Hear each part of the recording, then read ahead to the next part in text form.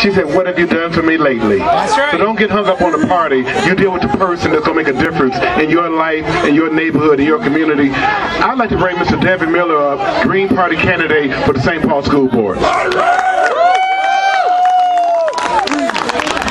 Repeat after me. People first. People first! Say it again. People first. People first! Say it again. People first. People first! and that includes kids.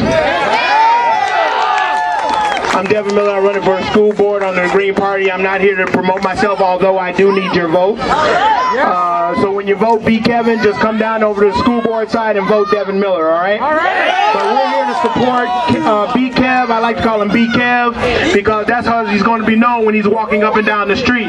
We don't have time to get all into the names and stuff. But we got to have something catchy. So we call him B. Kev. Right, call him B. Kev. Be Kev. Be Kev! All right, in order to get B. Kev into the seat, you got to vote. Yes! In order to get B. Kevin to the seat, you got to tell somebody else to come with you to vote. Exactly. So don't go by yourself. You got to bring somebody with you.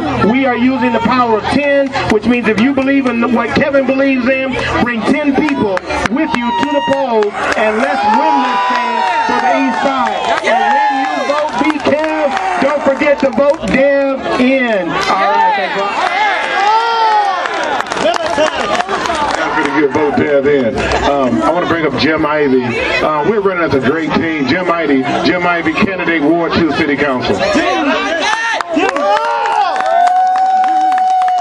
Hey everybody. Um, I'll make this quick. I haven't known B very long. Uh, he came to me fresh. Uh, we're all fresh. We're all brand new to the Green Party. Uh, some of us